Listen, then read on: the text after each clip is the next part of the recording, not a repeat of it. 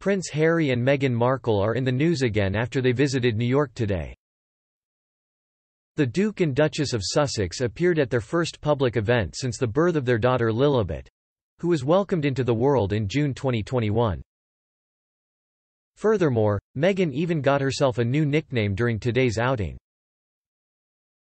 The couple is in New York to attend the TV event, Global Citizen Live. It's being screened here in the UK on BBC One on Saturday, September 25. As they did the rounds in the city, one reporter asked, Madam Duchess are you enjoying your time in New York? Meghan, 40, replied, It's wonderful to be back, thank you. And it seemed this new way of addressing Meghan was a hit with fans.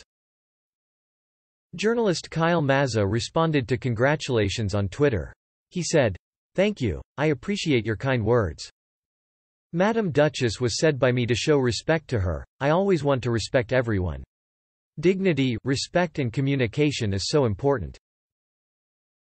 Subsequently, he wrote, I appreciate and thank Prince Harry and the Madam Duchess of Sussex for taking the time to answer.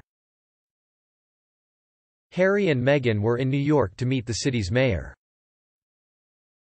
One fan in response said, Madam Duchess is an awesome coined term and it's going to be monumental. You found a way to address her that's American, professional and accomplished, and doesn't need British rules and say so. Go you. Another said, trademark Madam Duchess because it's about to take off. A third wrote, who besides me is really liking the title Madam Duchess Meghan? Although I'm not liking the photographer who called her that, I am liking the name. Finally, one exclaimed, It's Madam Duchess from now on.